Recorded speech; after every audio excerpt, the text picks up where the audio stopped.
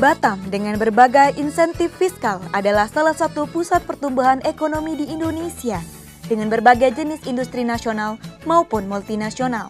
Dan untuk itulah Politeknik Negeri Batam hadir sejak tahun 2000 untuk memastikan talenta terbaik dapat memenuhi kebutuhan industri.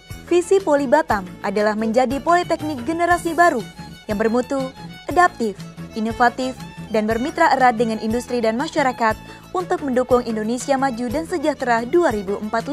Untuk mencapai hal tersebut, misi Poli Batam berpusat pada keterbukaan, kolaborasi, dan peningkatan mutu pendidikan. Tumbuh di kawasan industri, Poli Batam mengembangkan nilai-nilai organisasi yang selaras dengan dinamika industri, yaitu double action yang terdiri dari agile dan adaptif, kolaboratif dan customer centric, trustworthy dan team based, integrity dan inovatif, open dan organik, serta nurture dan nationalism.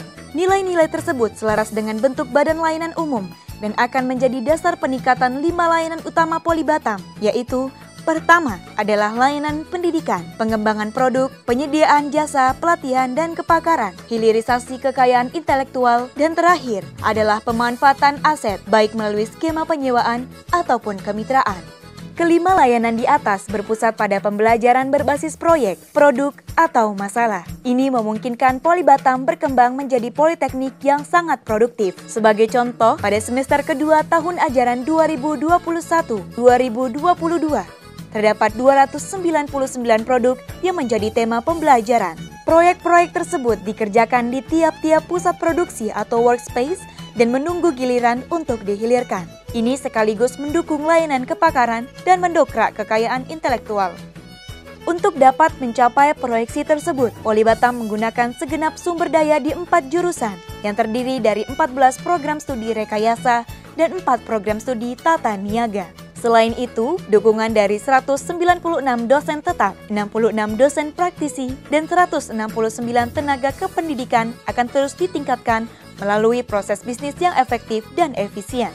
Dengan modal baik ini, layanan Poli Batam dinikmati oleh 7.128 mahasiswa di tahun 2021 dan akan terus meningkat menjadi 13.500 di tahun 2026.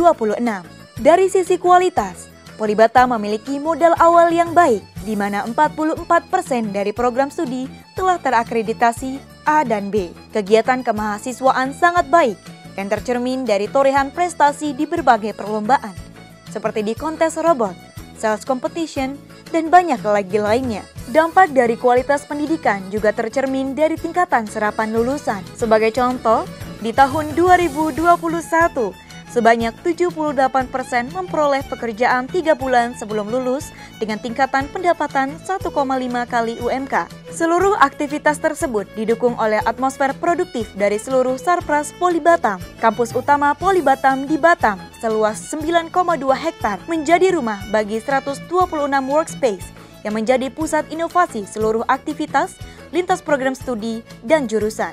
Yang utama, Poli Batam selalu didukung oleh 272 industri atau institusi melalui berbagai kemitraan strategis, baik mitra dari dalam maupun luar negeri. Dengan status BLU, Poli Batam makin lincah dalam merespon dinamika industri, sekaligus meningkatkan kualitas dan jangkauan layanan.